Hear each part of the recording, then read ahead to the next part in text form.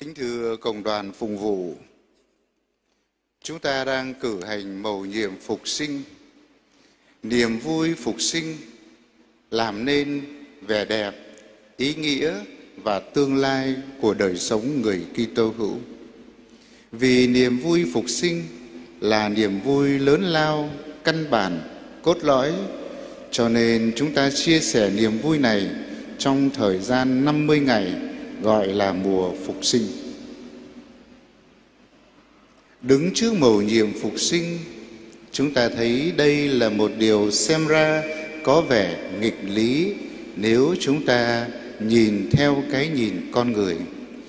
Bởi lẽ một người đã chết, đã được an táng trong mồ ba ngày mà lại sống lại. Đó là điều mà chúng ta thấy nghịch lý ở trần gian. Ngay cả các môn đệ, ban đầu khi nghe nói Chúa đã sống lại, các ông cũng không tin, thậm chí có ông cho đó là điều vớ vẩn. Chỉ khi gặp gỡ đứng phục sinh, niềm vui của các ông mới vỡ hòa. Các tác giả phúc âm nói với chúng ta, người đầu tiên gặp gỡ đứng phục sinh là một người phụ nữ, bà Maria Magdalena. Và niềm vui phục sinh giống như một suối nguồn hân hoan lan tỏa từ cá nhân đến tập thể, từ một cộng đoàn các tông đồ cho đến đến những người tin vào Chúa Giêsu. Dòng chảy ấy vượt qua biên giới của người Do Thái, vượt qua biên giới của các quốc gia để đến với mọi người. Chính vì thế hôm nay chúng ta mừng lễ phục sinh, chúng ta được gặp gỡ đấng phục sinh và nhận ra sự hiện diện của người trong cuộc đời. Kể từ khi được gặp gỡ đấng phục sinh, các môn đệ vui mừng, xác tín và tâm tình của họ được thay đổi. Họ không còn sợ hãi, nhưng họ trở nên những nhân chứng can đảm của đấng phục sinh. Đến nỗi họ sẵn sàng hiến dâng mạng sống mình để làm chứng cho đấng phục sinh. Hai ngàn năm đã qua khi chúng ta cử hành mầu nhiệm phục sinh, đó không phải là một sự kiện đã lùi vào dĩ vãng xa xôi. Chúng ta cử hành mầu nhiệm phục sinh Chúa sống lại không giống như tưởng niệm một vị anh hùng dân tộc hay một vĩ nhân trong lịch sử. Khi cử hành mầu nhiệm mừng phục sinh, chúng ta tuyên xưng đức tin vào đấng phục sinh đang hiện diện trong cuộc đời. Đấng phục sinh hiện diện và làm nên vẻ đẹp, sức mạnh, sức sống và phát triển của các cộng đoàn Kitô hữu. Mừng lễ phục sinh cũng giống như các môn đệ đấng phục sinh gặp gỡ họ và Chúa đã trao cho họ hãy đi khắp mọi nơi để làm nhân chứng cho người. Hôm nay khi chúng ta mừng lễ phục sinh, Chúa cũng mời gọi chúng ta hãy trở nên nhân chứng của đấng phục sinh giữa đời. Bài tin mừng chúng ta vừa nghe là cuộc gặp gỡ cuối cùng giữa đấng phục sinh và các môn đệ trước khi người về trời. Di chúc mà người để lại, sứ mạng mà người trao cho các ông đó là anh em hãy đi khắp thế giới quy tụ muôn dân giảng dạy cho họ biết chân lý và tự rửa tội cho họ nhân danh Chúa Ba Ngồi. Các môn đệ là những người được sai đi để làm nhân chứng cho Chúa. Họ không là những người đơn độc, nhưng có Chúa Giêsu ở với họ như lời Chúa Giêsu đã hứa. Này đây, Thầy ở cùng anh em mọi ngày cho đến tận thế. Kính thưa cộng đoàn, các bài đọc trong thánh lễ hôm nay đều mang nội dung truyền giáo.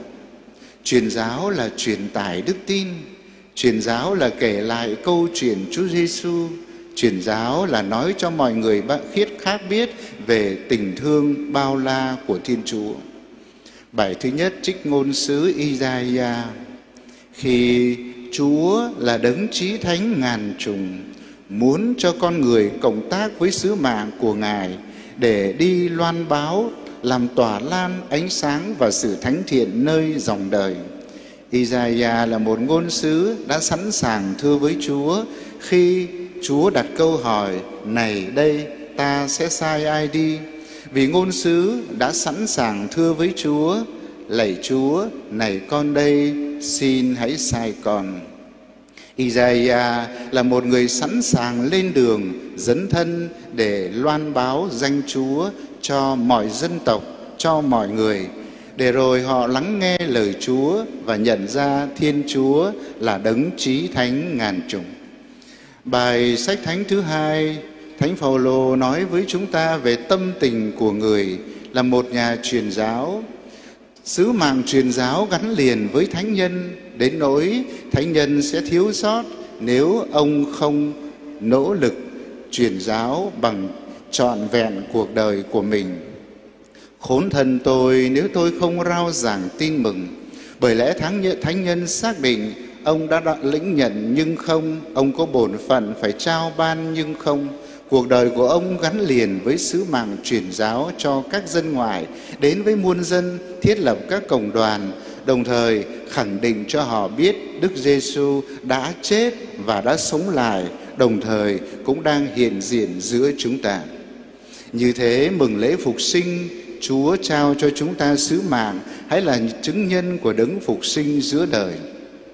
Mỗi người Kitô hữu chúng ta qua bí tích thanh tẩy Chúa trao cho chúng ta ba chức năng làm ngôn sứ, làm tư tế và là vương đế để cộng tác với giáo hội loan truyền danh Chúa cho mọi người, làm chứng cho Chúa giữa thế gian.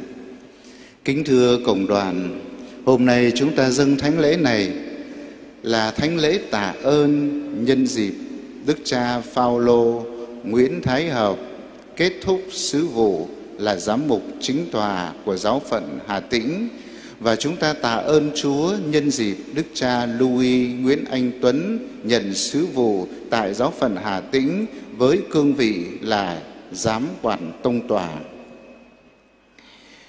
Khẩu hiệu của Đức cha Louis chính là lời ngôn sứ Isaiah, này đây, lạy Chúa, con đây xin hãy sai con với sự sẵn sàng dấn thân phục vụ giáo hội, Đức cha Louis đã được thánh hiến để làm giám mục của giáo hội, kế vị các thánh tông đồ. Và ngày hôm nay, với tâm tình sẵn sàng ấy, người dấn thân đến phục vụ giáo phận Hà Tĩnh của chúng ta là một giáo phận truyền giáo, là một giáo phận miền Trung còn nhiều khó khăn, một giáo phận mới mẻ, mới sinh ra cách đây hơn hai năm Chúng ta cầu nguyện cho sứ vụ của Đức cha Louis nơi giáo phận Hà Tĩnh thân thương này được sinh hoa kết trái. Cầu nguyện cho Ngài có sức mạnh để vượt lên mọi khó khăn, trung thành với sứ vụ và nhiệt thành làm chứng cho Chúa giữa một biến một bối cảnh xã hội còn nhiều khó khăn và gian nan thử thách. Trong thánh lễ này chúng ta cùng với Đức cha Phaolô tạ ơn Chúa 11 năm với chức vụ giám mục, trước hết là giám mục giáo phận Vinh và sau là giám mục tiên khởi của giáo phận Hà Tĩnh.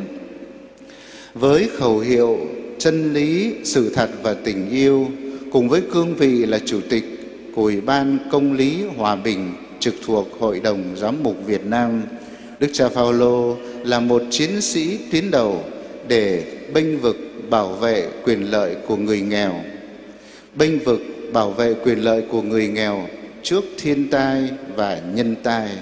Đồng thời, Ngài cộng tác nhiệt thành trong sứ vụ bảo vệ môi trường, bảo vệ chủ quyền quốc gia và bảo vệ tài nguyên của đất nước.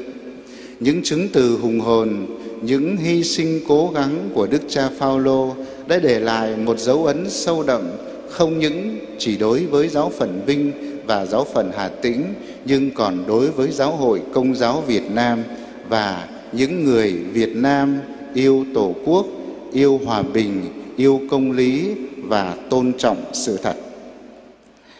Chúng ta cầu nguyện cho quý Đức Cha, Đức Cha Phaolô và Đức Cha Louis để Đức Cha Phaolô khi đã mãn nhiệm thì như chúng ta biết không giống như các quan chức ngoài đời khi chấm dứt chức vụ là hoàn toàn nghỉ ngơi. Tuy vậy, Đức cha Phaolô cũng như các giám mục khác khi mãn nhiệm mặc dù không còn là chức vụ theo giáo luật là giám mục chính tòa nhưng Đức Cha được mời gọi để phục vụ giáo hội bằng nhiều cách khác nhau. Nhất là với những kinh nghiệm quý báu của mình trong những năm tháng làm chủ chăn, Đức Cha sẽ giúp cho giáo phận thăng tiến phát triển và Đức Cha cầu nguyện cho giáo phận, cho đoàn chiên để rồi đoàn chiên ấy luôn luôn được an bình. Kính thưa cộng đoàn, truyền giáo là sứ mạng của mỗi chúng ta. Truyền giáo được sánh ví như hơi thở của người Kitô hữu. Truyền giáo cũng được so sánh như những đóa hoa tự nhiên tỏa ngát hương thơm để rồi xung quanh chúng ta cảm nhận được hương thơm của sự thánh thiện và động lực của việc sự công cuộc truyền giáo. Mỗi chúng ta khi mừng lễ phục sinh hãy trở nên chứng nhân của Chúa giữa đời. Hãy làm cho những người khác không cùng niềm tin với Đức chúng ta cảm nhận được sự thánh thiện của Thiên Chúa, giáo huấn của Chúa Giêsu và sự thánh thiện của giáo hội. Hôm nay ngày 29 tháng 4 theo niên lịch phụng vụ của giáo hội công giáo, chúng ta mừng kính Thánh Catarina thành Siena. Sống ở thế kỷ thứ 14, Catarina là một nữ tu nhưng bà đã có trí khí mạnh mẽ của một người nam nhân, có một trái tim can đảm và có một tâm hồn yêu mến giáo hội thiết thảm. Vào thế kỷ thứ 14, bối cảnh xã hội ở châu Âu lúc bấy giờ vô cùng phức tạp. Đức Giáo Hoàng ở Roma phải rời sang Avignon. Và như thế gây biết bao nhiêu hệ lụy cho giáo hội. Catarina là một người phụ nữ mạnh mẽ. Bà đã trực tiếp đến Avignon để vận động và xin Đức Giáo Hoàng hãy chuyển về Roma bởi vì ở Roma là thủ đô của giáo hội, là nơi có mộ của Thánh Phêrô và của Thánh Phaolô tông đồ. Đức Giáo Hoàng Gregorio thứ 11 với sự vận động của Catarina và đương nhiên với lòng yêu mến đối với giáo hội đã rời Avignon để trở về Roma. Chúng ta cầu xin Chúa cho chúng ta có tâm hồn yêu mến giáo hội, can đảm, trung thành, làm việc vì ích lợi của giáo hội như Thánh nữ Katarina để mỗi người chúng ta tuy là những cá nhân nhỏ bé nhưng chúng ta góp phần làm cho giáo hội của Chúa Kitô mỗi ngày một vững mạnh, một thăng tiến trong trật tự, hiệp nhất và bình an. Amen.